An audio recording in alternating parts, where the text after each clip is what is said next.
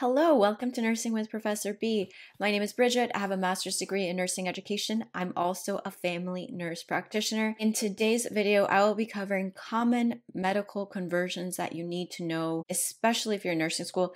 This will help you on your um, dosage calculation exam. But before we get started, make sure you hit the like button, make sure that you subscribe, and make sure you turn on that notification bell.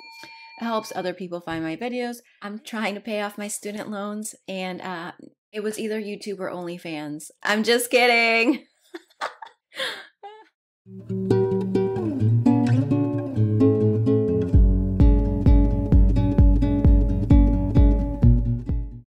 Okay, common medical conversions that you will use in your nursing career or whatever profession that you are watching this for. 15 drops GTT, and if you add an S, it can be for drops multiple. So one drop is GTT, the abbreviation.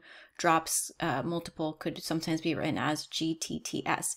Anyways, 15 drops equals one milliliter. These are just some things that I recommend you simply memorize. That uh, your your nursing school, you're just gonna have to memorize it. So 15 drops is equal to one milliliter. One ounce is equal to 30 milliliters one milliliter is equal to one cc. So back in the day, they a lot of you may see older nurses or people or older medical doctors refer to things as a cc.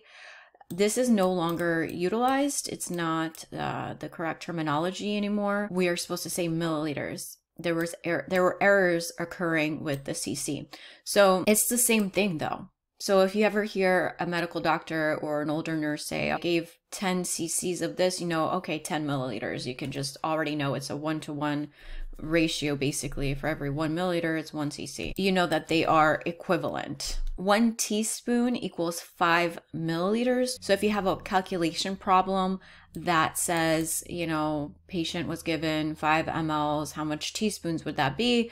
Or if you're trying to help a patient out in regards to how they should be administering the dosage to their children, one tablespoon is 15 milliliters.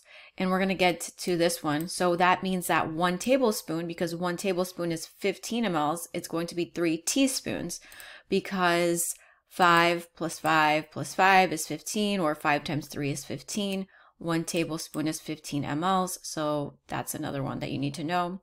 One cup is equal to 8 ounces, and then 8 ounces is equal to 240 milliliters. When you multiply 30 by 8, 8 times 3 is 24, you add the 0, you get 240 milliliters. As I said before, 1 tablespoon is equal to 3 teaspoons. So one big spoon is equal to three little spoons. One liter is equal to a thousand mLs. And with the metric system, it's really simple. You just move the decimal point three places, one, two, three, when you're moving in whatever direction you're moving in. One kilogram is 2.2 pounds.